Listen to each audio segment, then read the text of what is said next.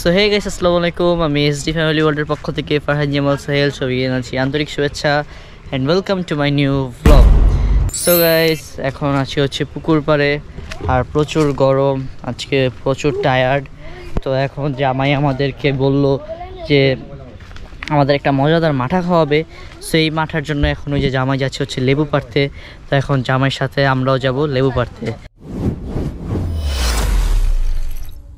হঠাৎ করে জামাই বলল যে আজকে আপনাদেরকে একটা স্পেশাল জামাইয়ের মাঠা খাওয়াবে। সো গরমের ভিতরে প্রচুর গরম। তো এই কারণে এখন আমাদের লেবু প্রয়োজন আর আমরা এখন যাচ্ছি হচ্ছে লেবু পাড়তে পুকুর পাড়ে এই যে পুকুর ওই যে নৌকা আর এই যে জামাই লেবু পাড়তে যাচ্ছে। কি জামাই আজকে কেমন মাঠাটা খাওয়াবেন বলেন? মিষ্টি না টক? মনে করো না এখন ডাকাতে না মেহমান আমাদের বাড়ি এখন কারেন্ট নাই। হ্যাঁ। এখন তো গরম লাগছে মনে করো না দুইটা লেবু নিয়া এখন একটা টক দিয়ে মাটা তৈরি করে দেবো এই গরমে টিকন যায় না অনেক গরম। হ্যাঁ অনেক গরম। এখন এই যে জামাই এখান থেকে লেবু পারবে তারপর একটা মজাদার আমরা মাঠা বানাবো সবাই মাঠা জামাই বানাবে মাঠা আর আমরা খালি খাব। এই যে নৌকাটা এটাকে অবস্থা খুবই খারাপ এটাকে আলকাতরা দিতে হবে রং করতে হবে ঠিক করতে হবে। আর এই যে অলরেডি আমাদের পুকুরটাও ঠিক হয়ে গেছে। তো এই পুকুরের পরে এখন পুকুরের মেইন সৌন্দর্য নৌকা এটাকে এখন আমাদের ঠিক করতে হবে। তাই না বাবু? এই যে ওরা দুজন এখানে রশি নিয়ে খেলতেছে আর আমাদের জামাই বাবু এখানে হচ্ছে লেবু পারতেছে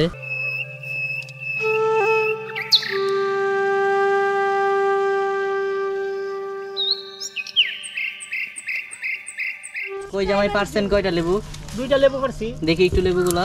এই যে লেবুগুলো। ওরে বাপ রে ভালোই তো বড় বড় লেবু। হ্যাঁ লেবু বড় আছে। ঢাকায় এগুলা তো পিসি মনে হয় পাঁচ টাকা না জানি দশ টাকা করে জামাই কি হয়েছে এই ছোট গাছে? নিম নিম গাছ এটা? একটা ডালিমের চারা আছে। ও ডালিমের চারা আছে? ওইটা লুকায় রাখছেন?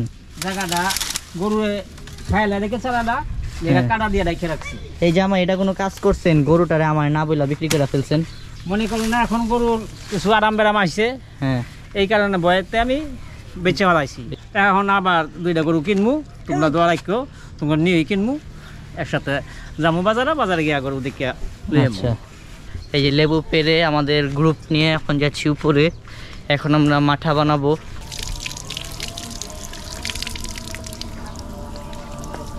তো একবার আমি কোথায় জানি একটা মাঠা খাইছিলাম আমার কাছে, এত মজা লাগছিল। ওইটা মাঠা বাট তারা বলছিল এটা লাচ্ছি বাট ওটা মাঠা। ওইটা আমি কই খাইছি? হাটে খাইছিলাম কোনো একটা হ্যাঁ হ্যাঁ হ্যাঁ গাজীপুরে গাজীপুরে জামালপুর গরুর হাটে একটা সেই মজার একটা ই লাচ্ছি খাইছিলাম। লাচ্ছি না সরি মাঠা বাট ওরা তারা ওইটা ওরা লাচ্ছি বলে বিক্রি করছে বাট এটা মাঠা। ওইটা খাইলে প্রথমে লাগতেছে টক একটু পরে লাগতেছে মিষ্টি সো হেভি মজা লাগছে। আমাদের মাঠা বানানোর প্রসেসিং অলরেডি শুরু হয়ে গেছে। এখন জামাই লেবুগুলোকে কাটতেছে। এখানে আছে হচ্ছে দই।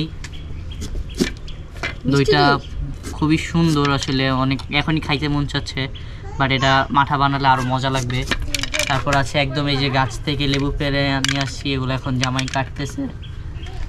আর এই যে এখানে আছে হচ্ছে সুগার মানে চিনি। চিনি লেবু আর দই দিয়েই আমাদের এই মাঠাটা বানানো হবে। ঠাটা বড়া গরম। ইমরান, তুমি লেবুর দিকে এমনি তাকায় আছো কেন? এখনই খাইতে মন চাইতেছে?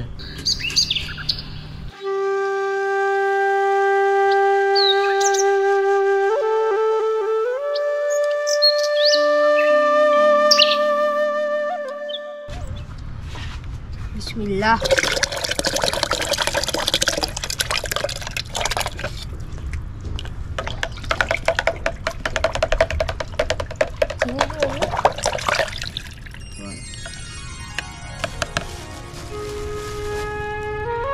ইয়া ন।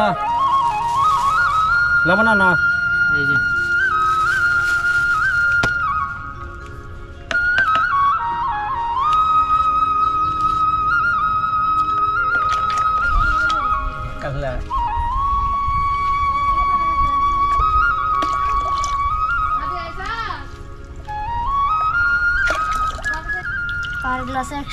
এটা আমি বেচা কিনি করি না তো এটা মনে করো না আমার আত্মীয় আইছে।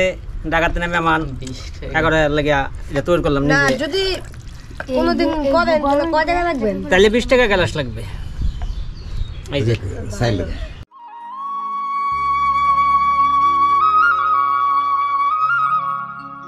চিয়ার্স করি তুমি এক গ্লাস খাও।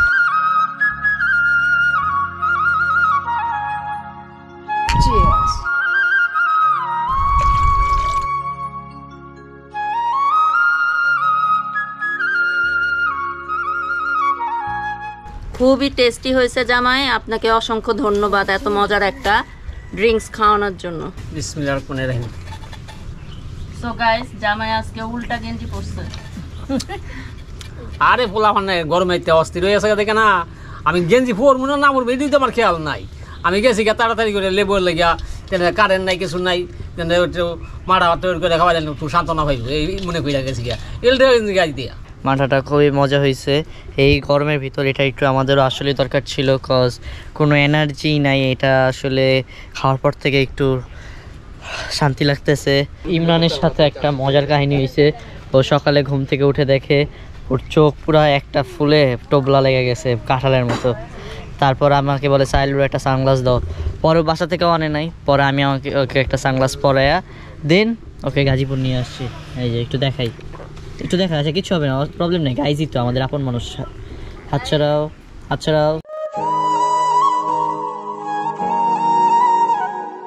সো গাইজ আজকে ব্লগটা এই পর্যন্তই, দেখা হবে পরবর্তী ব্লগে অ্যান্ড আজকে ব্লগটা কেমন লাগল অবশ্যই সবাই কমেন্টে জানাবেন। আল্লাহ হাফেজ!